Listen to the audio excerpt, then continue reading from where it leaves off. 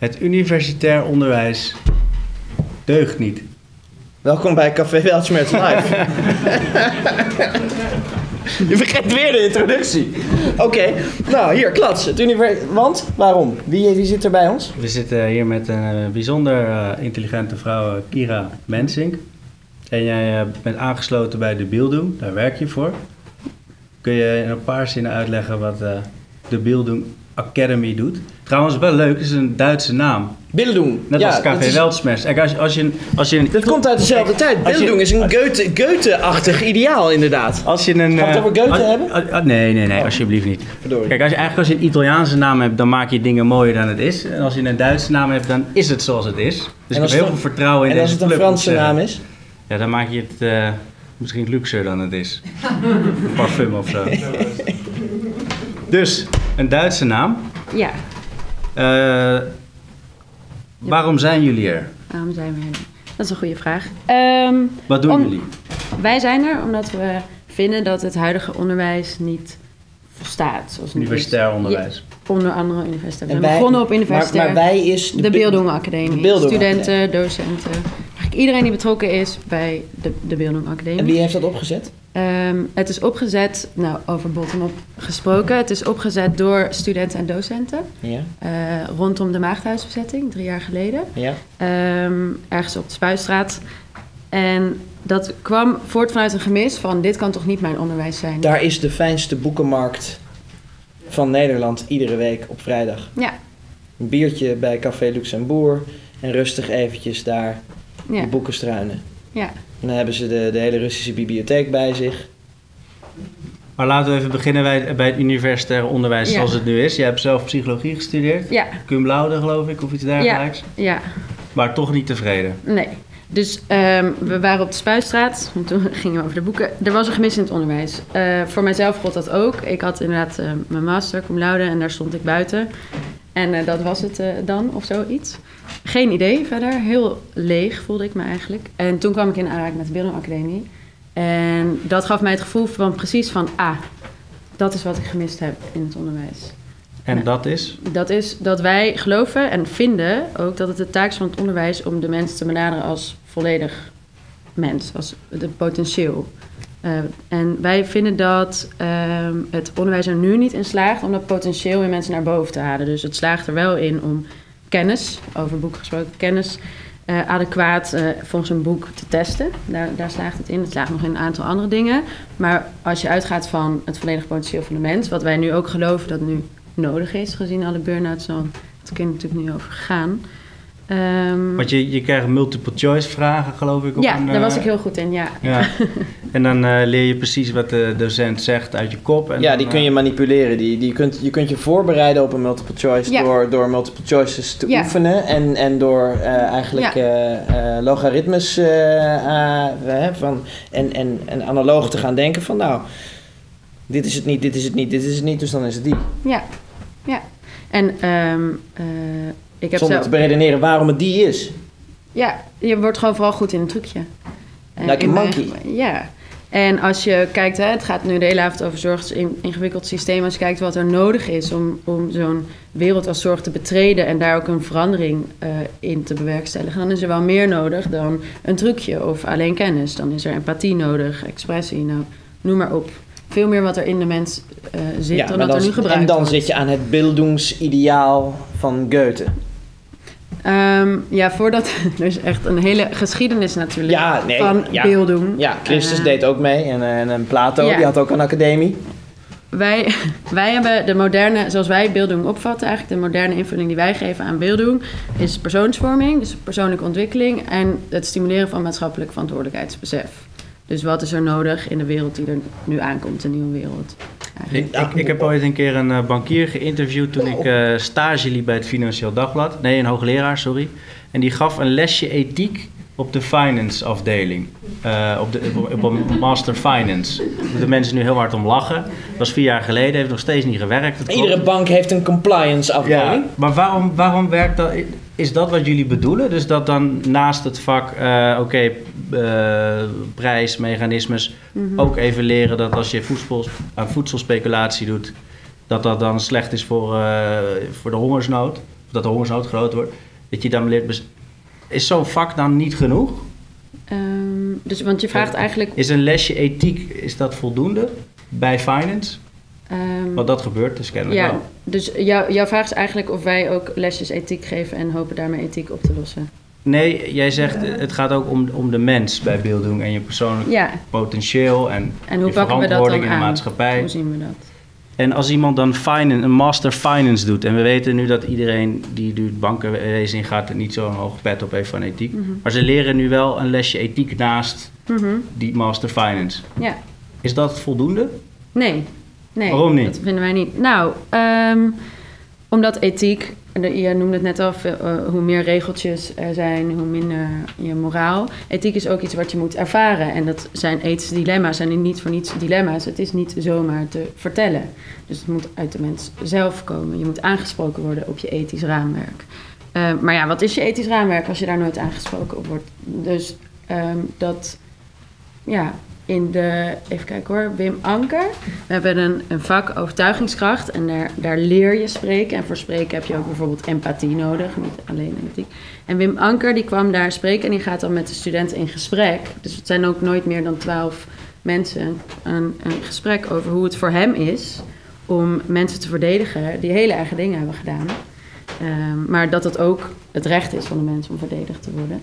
En die legt uit hoe het voor hem is om de, op de social media eh, zo belaagd eh, te worden. En die le- legt uit wat voor hem ethische dilemma's zijn. En dan ontstaat er discussie in de groep. En dan worden studenten geactiveerd. Dus die gaan actief nadenken. Oh, wat betekent dat voor mij? Wat vind ik daarvan? Ja, ja. dat iemand komt praten en zegt, nou, dit is ethiek. Ik heb het ook uit een boekje geleerd hoor. En had, jij, mensen. ja, ja, ja. en had jij dan op, de, op je eigen studie psychologie het idee dat er ja, eh, te weinig aandacht was voor, ja, hoe moet ik dit formuleren? Ehm daar moet ik even over nadenken.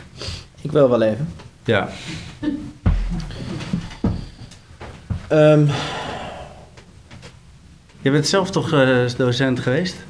ik ben afgestudeerd in de, in de juridische beroepsethiek. En ehm, eh, ik, ik ben opgegroeid met het beeldingsideaal. Dat was een, eh, dat was een luxe. Maar wacht, Dus- wat is het beeldingsideaal? Het, beeld, het, be- het, beeldingsideaal is het volgende inderdaad. Het Bildung betekent eigenlijk bouwen. Dat betekent eigenlijk zoveel als... Ik ben, je bent als mens nooit uitgeleerd. Dus je ontwikkelt door het vergaren van heel veel kennis en situaties en ervaringen en gesprekken met anderen... vergaar je de kennis dat je niets weet dat er nog veel meer te leren is dan al die dingen die je al wel geleerd hebt. Ja, dat oké, er nog dus veel... het stopt niet als je die theorieboek... Nee, nee, nee, helemaal niet. Dat is dus de misvatting die heel veel mensen Ja. hebben. Dat van, oh, dat is een geleerd iemand. Hij, hij, zij heeft veel gelezen. Ja. En hij, zij kan enorm overtuigend spreken. Degene die het verst komen daarin zijn de mensen met het grootste eh deemoedige gevoel. En, en deemoed betekent dat iemand op zijn knieën durft te vallen. Hè, ik was laatst eh, eh, in ehm, eh, de bibliotheek van Admont. Dat is een oude kloosterbibliotheek, die staat daar al eeuwen. En dan ga ik op mijn knieën, want dan kijk ik om me heen en dan denk ik: ik weet dit allemaal niet. En hier staat, ik dacht, hier staat zoveel kennis al honderden jaren te wachten. Ja, precies. Maar je, je leert dus op de, op de uni- universiteit, maar ook de middelbare school en de basisschool, dat er één antwoord mogelijk is. Als je van de multiple choice uitgaat, eh, wel. Nou ja, je moet, ja Maar- precies. En dat Ja. is uiteindelijk waarop je wel of niet slaagt. Ruben. Dus je leert eigenlijk naar één antwoord Je- toewerken. terwijl ja. het natuurlijk altijd- Ethiek, hè? Ethiek. En waar jij het over hebt, dat beeldingsideaal. En Ja. van- hè, je hebt, eh, waar heb je psychologie gestudeerd? Aan de UvA, Aan de UvA. ja. En waar heb je op school gezeten daarvoor? Ehm, ik heb eerst op de Montessori school gezeten. Op een Montessori school? Ja. En daarna een gewone middelbare school. Oké. Ja. Maar dat is een enorme luxe. Eh, Want? Ja. Je weet misschien wat daarover gezegd wordt. Is namelijk, zuerst komt das Fressen und dann die Moraal. Ik snap niet wat je... Kan je Eerst- dat verder uitleggen? Ja, Als je eerst tevreden hebt, dan kun je je moralistisch doen. Wat jij, wat jij hebt het over een luxe. Hè? En het woord luxe komt van het Mhm. woord licht. En je hebt het Mhm. over een verlichtingsideaal. En we zitten natuurlijk in Amsterdam. Hè? En een bakermat van de verlichting. Ik was overigens bij het graf van Spinoza. Dat ligt in Den Haag. Baruch Spinoza hè, ligt in Den Haag en niet hier in Amsterdam, maar hij wordt hier geroemd vanwege zijn verlichtingsidealen. Maar die verlichting is een luxe. En de samenleving waar jij het over hebt, is een hele kleine intellectuele bubbel, die extreem belangrijk is hoor. Onderschat mij niet. Want we hebben een intellectuele leiding nodig om überhaupt om te gaan met het feit dat we, dat we een, een soefressenprobleem hebben. Maar mijn vraag aan jou is: met al deze intelligentie die je ongetwijfeld hebt, en het gebrek aan beeldingsidealen in onderwijs, en misschien wel een verbetering daarvan, wat ga jij doen Ehm, daarmee? waarmee? Ook niet nu, hè? Hoe oud ben jij? 25. Waarmee gaan we? 25. Over twee jaar ben jij 27. Ja, Hoog tijd om, om dan in de samenleving ja. iets te doen waarmee dat beeldingsideaal, wat je ongetwijfeld dan hebt begrepen en stellen. waarmee je je hele leven kunt vullen, Wat, wat doet iemand die de beelding heeft Ik- doorlopen? beter eh, dan iemand die dat niet heeft Ja. gedaan en alleen maar dat... dan mevrouw Schenkenveld in Schipluiden, die 70 hectare tomaten verbouwt en daar 90 ton per maand van dan, haalt. dan iemand die gewoon die master op de universiteit Die. heeft Ja. gedaan. En die mevrouw heeft gewoon alleen maar een hele Sven, oude Sven, opleiding. Sven, Oké. Als, als ik zo op jou mag reageren, dan kan ik eerst even... Op jou, wat doet een student van de beelding beter dan een masterstudent?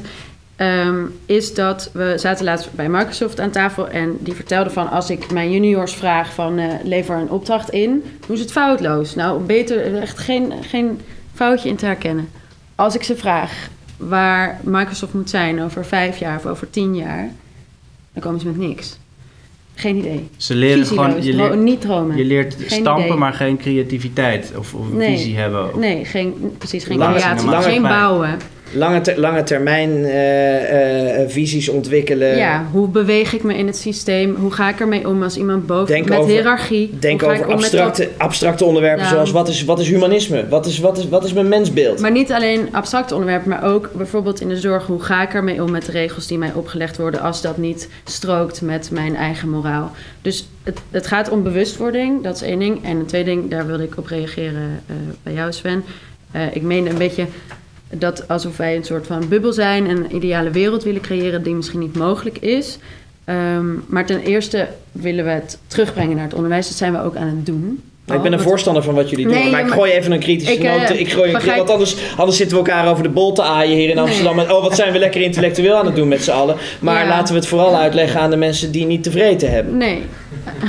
Want die moeten ook kijken. Die moeten ook begrijpen Ja. dat, dat wij niet alleen maar hun belastingcenten aan het, aan het potverteren zijn met, met een gesubsidieerde opleiding. Maar de- onze opleiding is een, niet gesubsidieerd. Wij proberen. De mijne was dat wel. Ja, maar wij proberen onderwijs te maken wat goed is, zodat iedereen het kan volgen. We Ah. brengen het terug naar het onderwijssysteem. We proberen het onderwijssysteem te kantelen. Dus zijn wij een gesloten groepje mensen die alleen maar slimme mensen aantrekken en vervolgens veel gaan praten? Nee, totaal niet. We zijn, eh, als je mij vraagt eh, wat ga je over twee jaar doen, ik ben nu aan het doen wat ik eigenlijk over twee jaar wilde doen. Dat is onderwijs maken en dat brengen naar onderwijs, onderwijs beter maken. We zijn niet alleen met de universiteit bezig, we zijn ook een samenwerking tussen HBO, WO en MBO. 90 studenten die dan met elkaar een project aangaan, puur om te leren samenwerken met elkaar. Hoe is dat? Maak eens verbinding, samenleving. Het is Zo. ook een interviewtechniek hè, om, om gewoon een poort te geven en vervolgens jou boos te maken. ja, zodat ja, je de dat waarheid werkt bij eh, mij. Ja, dat werkt. Zie je hem aanslaan hier. Ja. Even voor de, voor de mensen. Ik ben het natuurlijk helemaal eens met wat, alles wat zij hier te zeggen heeft. Maar ik dacht van laat ik er gewoon eens even een duw geven. Want dan komt er zo'n goed antwoord uit. Ja, dat, dat heb ik niet nodig. Ja. Dat heb ik dan geleerd bij retorica van Plato. En, en eh, je, je, hebt het over die, je, hebt, Sven. je hebt het over die samenwerking tussen eh, MBO, HBO, Unie, die jullie nu gaan opzoeken. Wat ik bijvoorbeeld, ik heb een tijdje de Wageningen Universiteit eh, onderzocht. En daar, eh, al die verschillende eh, disciplines in Wageningen, die werken allemaal in silo's. Dus een plantendeskundige is bezig met de opbrengst van een plant verhogen. Maar als je dan zegt van, maar dan, dan droogt die grond uit en dat is niet goed voor de biodiversiteit, zegt hij, ja, maar dat, dat is een andere discipline. Dat heet eutrofiëring. Dat heet dan dus kennelijk dit woord. En als je dan gaat, als je dan gaat naar eh, eh, eh, bijvoorbeeld ja, ook diezelfde plantendeskundige die meer yield aan het opbrengen is op een stukje grond. Maar zegt ja, maar eh, dat zijn eh, mais- high fructose corn syrup dingen en die maken mensen alleen maar dik. Ja, Dan zegt hij, ja, maar dat is weer een andere dat is sociologie. een andere afdeling. Ja, dat is een andere afdeling. Dus is dat ook het geval dat mensen te veel gespecialiseerd in silo's zitten en helemaal niet meer nadenken over de gevolgen van wat ze doen en hoe dat een plaats heeft in de maatschappij? Ehm, ja. Ja. Ja. Moet En- een samenleving gerund worden door generalisten? Mensen die het overzicht hebben? Want Oh, dat, is nu, dat is nu overduidelijk niet het Nu, geval. nu wordt deze samenleving wordt gerund door specialisten. Ja. Ik, vind dat, ik vind dat levensgevaarlijk. Als je het aan mij vraagt, is het antwoord ja. Maar denk jij dat... Is, er is vast een nadeel aan generalisten. Want dat zou dan de andere optie zijn. Dus het is Ja, specialist nee, nee, wat, wat jij natuurlijk zegt is maak daar nou een mooie combinatie van. En creëer Ja. een, een, een, een tafel waarin, waarin ruimte is om van gedachten te wisselen. Nou, wij, wij zien zelf nu bij ons eigen onderwijs dat als je al interdisciplinair, eh, verschillende studies bij elkaar zet, dat mensen dat eigenlijk ook heel leuk vinden. Als ze met elkaar aan een project worden gezet en die creativiteit wordt door de context die je biedt gestimuleerd en niet alleen maar dat alle ideeën van tafel worden geveegd, vinden mensen het eigenlijk heel leuk om met elkaar verder te denken. We hebben tijdens de assessmentdagen, eh, als mensen bij ons komen, hebben we een aantal keer wat engineers gehad en die zeiden ja, dan heb ik iets heel moois ontwikkeld en heb ik eigenlijk geen idee wat het daarna gaat doen in de samenleving. Want daar mag ik ook niet over. Daar mag ik ook niet over. Oppenheimer, die was ook, weet je, dat ze dat gedecompartimentaliseerd hebben. Dat ze dus zeiden van, jij ontwikkelt dat deeltje, jij ontwikkelt dat deeltje, jij ontwikkelt dat deeltje. En ze hadden niet door dat ze met z'n allen een bom aan het bouwen waren. Ja. En toen was hij er. En toen kwamen de ethische vragen pas. Ja, Ja. precies. En dat is dus eh, eh, eh, licht gevaarlijk. En nu, en dat, dat, dat vind ik dan, dan, dan maak ik even een hele grote stap met jouw gast, Ruben. Want wat jij nu net zei, stond afgelopen weekend in het parool. Het ging over robotica. Mhm. Want robots zijn uitermate geschikt om gespecialiseerde taken uit te voeren. Mhm. Especially Artificial Narrow Intelligence, ANI's. Mhm. Als je die ANI's gewoon zegt, jij gaat gewoon, je doet zand in een potje, je doet er een dingetje in en een water en je, en je laat hem groeien. Dan komt er ruimte voor de mensen Mhm. om hun creatieve gedachten en hun ho- holistische gedachten erop, om die robots opdrachten te geven die ze uit moeten voeren. Mhm. Is het beeldingsideaal, nog even los van het feit of het nadenkt over die ro- robotica, is dat al op het punt om die technologie bij te benen? Zijn er al genoeg initiatieven wereldwijd? Want ik, ben het, ik vind het fijn dat jullie initiatief er is. Althans, dat is al een tijd waarschijnlijk. Drie jaar geleden, zei je. Zijn er wereldwijd genoeg initiatieven die mensen duidelijk maken dat er een nieuw, er is een nieuw, eh, eh, een nieuw dawn Mhm. eigenlijk? Eh, nou, ik vind van nog niet. Maar wat je wel merkt is, als je ermee bezig gaat houden, dat merk ik ook sinds ik zelf bij de academie werk, dat je je wel omringt met heel veel initiatieven die daarmee bezig zijn. Maar er is nog een grote slag te slaan, ja, als dat je vraag is. Ja, zeker. En Ja. Denk je dat Nederland een voorloper is daarin? Of zijn er landen waar wij naar kunnen kijken, even internationaal gezien, Mhm. waar men daar nog veel verder mee is? China? Is China daar eh, eh, juist heel ver in of loopt ze enorm achter? Amerika, hè? de Europese samenleving kijkt altijd graag naar Amerika, maar die zijn natuurlijk gewoon achterlijk. Ehm, dat, eh, dat vind jij. eh, Silicon dat zou ik niet zo Of zeggen. zijn die jongens in Silicon Valley, vormen die een kleine bubbel die Ehm. eh, hyper intelligent is? Want daar staat een quantumcomputer. Ja, en je vraag was? De vraag was, hoe ver zijn wij in Nederland? Want we doen dit interview in het Nederlands. We Ja. kunnen het ook in een andere taal doen. Hoe ver zijn wij in Nederland? Of moeten wij in Nederland hier echt gas op geven? Op, op het voorbereiden op een andere manier Van, van jezelf, jezelf als mens ontwikkelen. Ja. Omdat al die eenvoudigere taken door robots sneller en beter gedaan. Een Mhm. metselaar heeft nu tijd om een boek te lezen, want we hebben een machine en die, die kan zes keer sneller metselen dan één metselaar. Ja. Dat is goed nieuws voor die metselaar, want dan heeft hij tijd om iets anders te Mhm. gaan doen. Toch? Volgens het beelddoensideaal. Dan kan hij zichzelf doorontwikkelen. Nou, voor- nogmaals, voor ons, de moderne invulling die wij aan beelding geven, gaat over persoonlijke ontwikkeling en stimuleren van maatschappelijk verantwoordelijkheidsbesef. En daar wordt ook heel veel tijd besteed aan technologie. En wat betekent dat? Wat betekent dat voor de mens? Maar je kan hem ook omdraaien. Niet alleen, dan kan ik meer doen, maar ook hoe ga ik om met technologie? Als je het hebt, waar het al eerder over is gegaan, over de burn-outs. Hoe ga ik om met alle prikkels? Er ligt hier een telefoon op tafel, het lijkt mij af. Zo, hé, hey, dat merk ik. Mogen we ook minder doen? Van, wat? Van dat, dat, de persoonlijke ontwikkeling? Mogen we ook, mogen we ook nu zeggen van, nou, nu, nu, nu, nu doen we even niet meer mee? En, geen. ehm, nou, het is wel grappig dat je het woord doen noemt eigenlijk. Ik, wat ik merk eh, in mijn werk is dat er heel veel mensen zijn heel erg zoekend. Zeker in de generatie die, waar wij mee bezig zijn, namelijk studenten, zijn heel erg ken, ik zoekend. ken jouw generatie, die zijn enorm zoekend. Ja, Ik heb zelfs een armbandje gekregen, dat staat op Seekers. ja. Nou, Ik draag hem niet, maar ik heb hem Nee, wel. heel, nou, het is dus, heel zichtbaar. Ehm, en er zijn heel veel cursussen, er zijn heel veel, ja, heel veel programma's nu die helpen bij dat zoeken. En dat is ook nodig. Maar al die programma's, of tenminste de meeste programma's, leren je nog steeds maar één ding eigenlijk. Ja, En, die komen nog uit het oude adagium. en als je het dan hebt over moeten we minder aan persoonlijke vorming doen, dan denk ik nou, we moeten vooral meer doen. Dus minder kijken of zoeken of beschouwen, gewoon gaan doen. Ga het oefenen, ga proberen. Hoe ga ik om met fouten? Wat Ja. be- nogmaals, wat betekent social media? Ja, ik zag laatst een millennial van, eh, van 23 die crashte zijn zelfgebouwde drone tegen het huis van zijn ouders aan. Dat vond ik, dat vond ik een prachtig voorbeeld. Die zat Ja. die dat lopen prutsen. Die was naar de sloop gegaan, die had wat onderdelen bij elkaar gehaald. Die had een drone gebouwd, daar zat hij op. en die ging de lucht in en die ging vol tegen de muur aan. En toen dacht ik, nou, dit, is, dit gaat de goede Ja. kant op. Ja, Toen dacht ik, kijk, dat is iemand die, die, die, die heeft er niet... die probeert. Die is gaan proberen. Want je hebt ook een hele, je hebt een hele troep van die lui thuis zitten. Die zitten te gamen. Terwijl ze al hun intelligentie kunnen inzetten voor iets, voor iets waarvan ze zeggen: dat vind ik ook gaaf om te doen. Precies, dat is mijn kracht, daar word ik gelukkig van. Daar Ja. heb ik lol in. Ja, dat Dit is wat ik wil bijdragen aan de wereld. Ja, weinig mensen weten. En dat vind ik wel leuk. Ik, dat, daarom vind ik de gastkeuze van Ruben ook zo leuk. En omdat Ruben is net, Ja, ik volg net, het allemaal al helemaal niet meer. Maar net, net, iets jonger, net iets jonger dan ik. Ehm, wij staan echt aan de. En, en, en, en die oude knar van een Max, die begrijpt dat ook goed. Wij staan echt, en ook voor het publiek, we staan aan de, aan de vooravond van een hele andere tijd. En wij begrijpen, en ik zit echt op dat grensvlak. Wij begrijpen die jongere generatie zeer, zeer, zeer slecht. Want die, dat is de eerste generatie, jouw generatie is de eerste generatie die virtueel en digitaal is en denkt.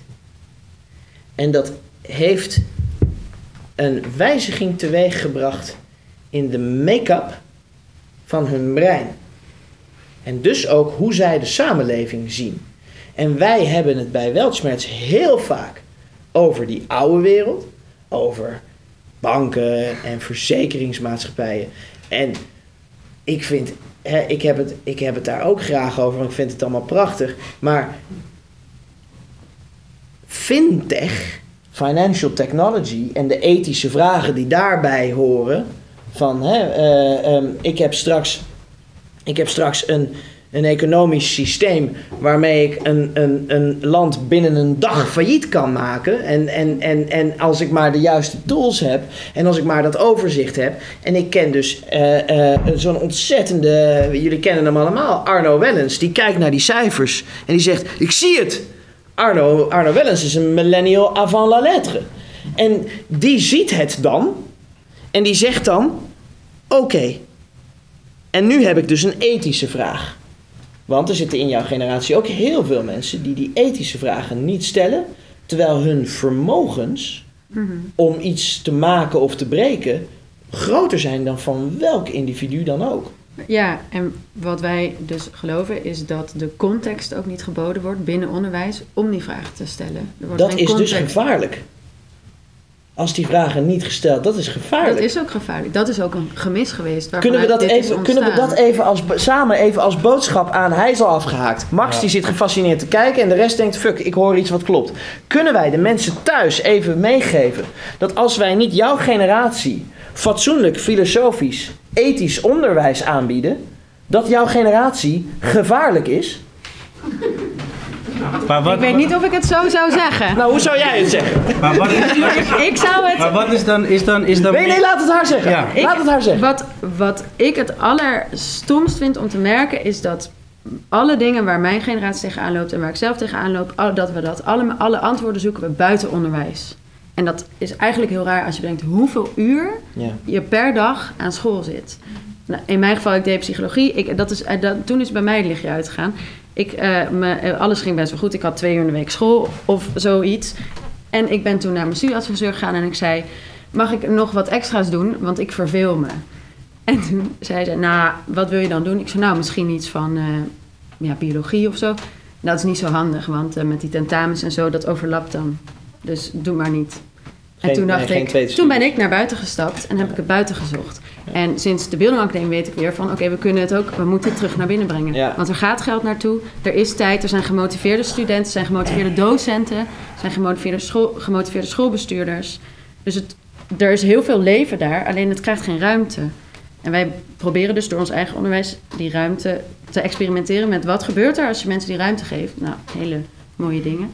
En dat brengen we terug. Maar dan zou het kabinet zeggen, eh, dat onderwijs wat jullie bieden sluit niet aan op de arbeidsmarkt. Want er is vraag naar een keiharde kwant in de finance. Of een ingenieur die eh, bepaalde robotica kan zo? We toepassen. hebben loodgieters nodig. Maar is het zo dat de vraag is alleen naar, naar die skill? Eh, financieel gezien ja. Ja, of dat is een misvatting in de beleidslijnen en in de krochten van het ministerie, eh, waar, waar iemand ook maar gewoon een beetje aan zit te vreubelen. Dat is mijn ervaring namelijk. Dat iemand, dat... Ik maakte het echt mee. Deze week. Er was een man bij een gemeente, laten we hypothetisch zeggen de gemeente Den Haag. En die zei, we zijn, Sven, we zijn met nieuw beleid bezig. En dat treft cliënten van jou. En toen zei hij, zei van, dus we zijn enorm met een onderzoek bezig. Ik zei, dat is interessant. Zei, want dan ga, kan ik mijn cliënten bellen en dan kun je die spreken over wat er in de praktijk speelt. Toen zei hij, nee, maar we hebben dat onderzoek, dat, mijn scherm heeft dat al duidelijk gemaakt. En in het onderwijs zie je dat het ministerie, maar ook politici, die hebben het over het onderwijs. Maar als jij aan Alexander Pechtold van D66, de onderwijspartij, vraagt: maar wat voor onderwijs dan? En hoe zit dat dan met die studenten? En wat zijn hun behoeftes dan? En voor welke samenleving, met welke normen en waarden maken wij die dan klaar? Dan zit hij alweer in zijn Twitter, zit hij alweer een beetje aan te kloten. Dus de mensen aan wie wij het moeten overlaten, dat zijn echt een stel randdebielen. En dat is gewoon nog een eerlijke en een, gematigde kwalificatie van die lui. Daarom zijn wij het zelf gaan doen. En daarom zijn zij het zelf gaan doen en terecht. Het gaat heel Ja. goed. En wat mij betreft ontslaan we die mensen en gebruiken we het geld wat we uitgeven aan hun salarissen voor het verpesten van de samenleving aan beeldingsidealen in eh, onderwijs. Wil, jij, wil jij ook nog wat zeggen, Kira? Nou, ik wil wel wat aan jou vragen, Ruben. Ja, een Ik vraag wil wel wat aan jou vragen, Ruben. Want jij hebt mij hier natuurlijk uitgenodigd. Ja. Eh, en je was net even eh, afge- af- afgehaakt. Maar waarom heb je mij uitgenodigd? Ehm, omdat eh, ik ook zie dat in het onderwijs eh, eigenlijk altijd maar één antwoord het juist is. En de gevolgen daarvan, inderdaad, daar is geen eh, discussie over. Dus je doet het op de manier zoals dat in de boekjes staat. Ehm, en dan krijg je dus een hele ja, monomane mens van eigenlijk. Dus eh, oké, jij bent eh, goed in finance, hardcore finance. Je bent een kwant, je gaat aan de slag bij een bank. Maar wat dat dan verder voor gevolg heeft wat jij doet, daar heb je daar nooit over nagedacht. Want je bent gewoon keihard in de master, eh, je hebt gewoon keihard finance gestudeerd. Hetzelfde natuurlijk als je ingenieur bent of je bent landbouwdeskundige, wordt land- landbouwdeskundige via Wageningen. Dat is gewoon wat ik heel erg merk als ik met die hoogleraren praat. Die hoogleraren praten helemaal niet met elkaar eigenlijk ook.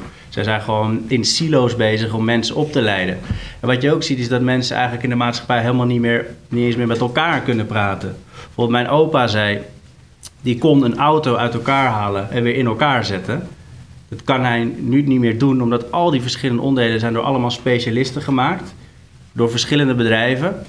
Maar op een gegeven moment krijg je geen holistische samenleving, omdat iedereen met zo'n klein stukje bezig is. Dat ene antwoord dat ze hebben geleerd. Waardoor er op een gegeven moment geen grote geheel meer is. En Joris Luijendijk heeft dat in zijn boek dan over het financiële systeem.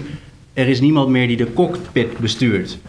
Die ene hypotheekadviseur is goed bezig op zijn ding. Die heeft geleerd wat hij moet doen. Die compliance meneer ook.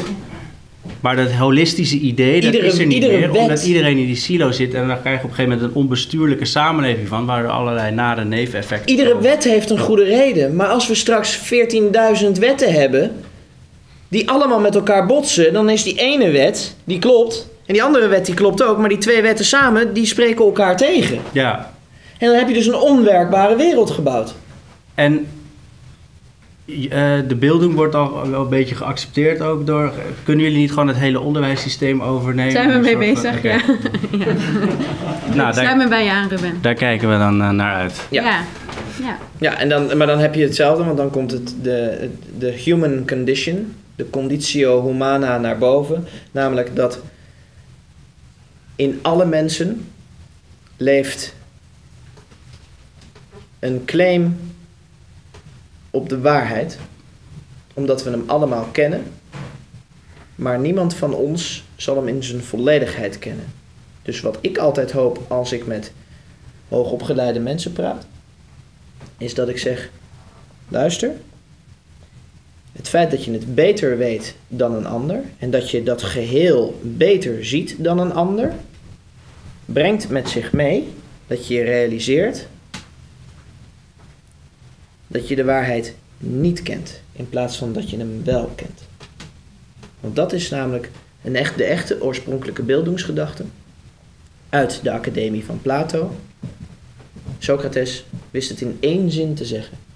Ik weet dat ik niets weet. Oké.